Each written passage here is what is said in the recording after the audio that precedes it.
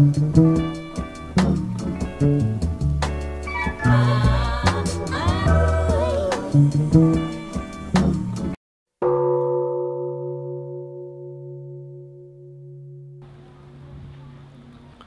back. Today's an experiment in recording outside.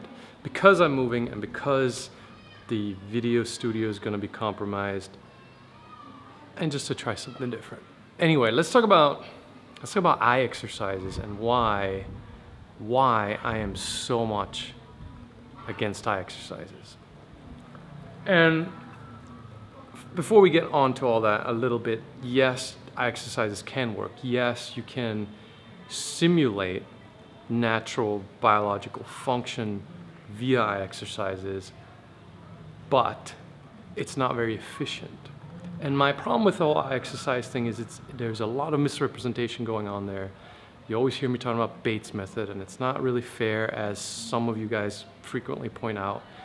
Bates didn't really do eye exercises. A lot of the stuff that's today called Bates method is just, people just made that stuff up, and it has nothing to do with proper medical um, optometry science. It has nothing to do with, with science in general. It's just typical internet stuff. So, not efficient because and since we're doing outside, there's gonna be background noise, so it's an experiment. If you want better eyesight, if you don't wanna be myopic, if you wanna be like me, I have minus five diopter myopia, I can see 20/20 today with no eye exercises and no LASIK and no contact lenses, then you have to adjust your habits. It's not a question of trying to find some exercise and ignoring the root cause, right? Like the problem is close up. The problem is you're staring at a screen for eight hours. The problem is you're staring with at a screen for eight hours without then going outside and using a distance vision. The problem is covering up the resulting focusing muscle spasm problem, more links on that below, with glasses, wearing those glasses where they're not intended while you're in close-up instead of for distance vision where they're supposed to be. So the compounding issues that are creating your myopia are not ever ever addressed by exercises. I wonder how much of that noise is really coming through. It's, this is a little tiny fishing village with lots of wind, so there's good kite surfing. Kind of awesome. I'm not sure about this. So getting outside and the kite surfing here is, is a prime example. I've spent a fair amount of effort in re-examining my life and myopia is short-sightedness. It's literally short-sightedness, but it's also figuratively short-sightedness, right? Like, I mean, if you sit at work all day, all day, in your lunch break, you play on your smartphone or you check your Facebook. Before work, you're checking screens. After work, you're checking screens. When you're in the toilet, you're checking screens. You're living in front of screens. At this distance, close up, and your distance vision suffers, it's not really a huge surprise. And this sounds all way, vague and fluffy here, but adjusting the habit, like if you want good distance vision, an exercise isn't going to fix that for you. Distance vision fixes distance vision, right? This is one of the more vague videos. There's links below. The, the, this whole channel has lots more specific recommendations. This is more of a general thing of why eye exercises aren't very effective, right? Like if you're not fixing the problem of you're wearing glasses and you're using them at the wrong distance, you're getting hyperopic to focus, your, your eyeball is elongating, you're, you're having a whole bunch of close-up strain that you're never, never, never, never, never dealing with, an eye exercise is gonna fix that.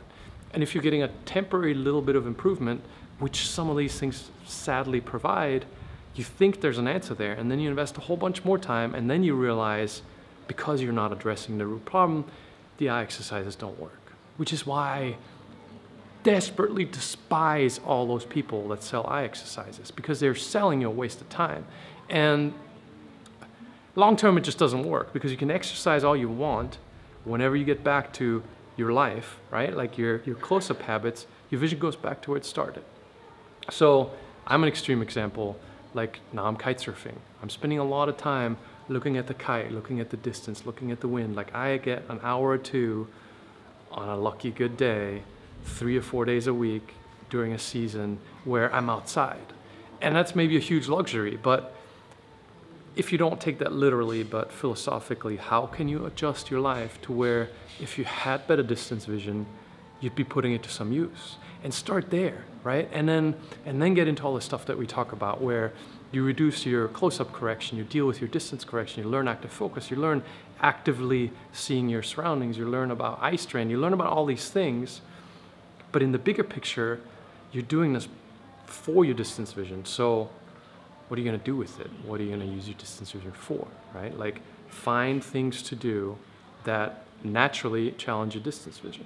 If, if I am in this fishing village and I'm kite surfing for a month, my distance vision is notably better than when I'm staying in a big city and there is much less opportunity for me to use my distance vision. And even then, if you watch my videos, I live in a big city, I buy a motorbike, right? Because with the motorbike now, I have to be much more focused on traffic. I'm weaving around cars, like I am tweaking little things about my life to engage my distance vision. And do that, right? Like two hours of kite surfing, or two hours of paragliding, or two hours of skiing, or two hours of bird watching, or two hours of bowling, or two hours of whatever it is, is gonna be way more fun and way more sustainable than two hours of bullshit eye exercises. Like that stuff is so lame. It is so lame. Motorcycle noise, not sure how much that'll affect the video, but lame. Those guys are lame. And if you are into eye exercises, open your mind and consider what I'm saying. How about replacing running in that hamster wheel with some real life, right? Like start digging around for interesting things to actually live life not in front of a screen, not in freaking Facebook and not on YouTube and not on, ironically, not on YouTube, but slowly find a way to migrate some of the time outside. You know, maybe you pick up a jujitsu class or yoga or whatever it is that takes you away from a screen. Two hours of that versus two hours of some eye exercise. Think about that. You get into a hobby and you get that two hours, three, four times a week. Are you really long term going to do two hours, three, four times a week of eye exercises? Right? That as soon as you stop doing them, there, if there are any benefits, they will drop off. That's why.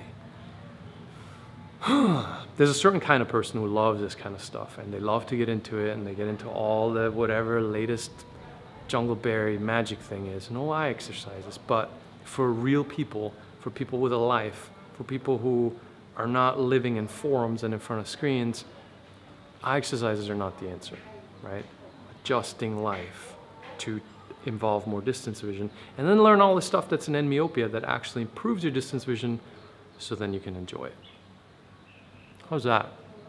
How's that for a video? Let me know what you think. I'm making a bunch of these and I'm making all kinds of different stuff. I'm making like Sears protopic stuff here and I'm making kind of clickbaity Bates Method stuff over here because it gets a lot of views. But if you let me know what you like below, thumbs up or thumbs down gives me a better idea of better targeting your viewing enjoyment. Like this video, subscribe to the channel. I'll see you in the next one.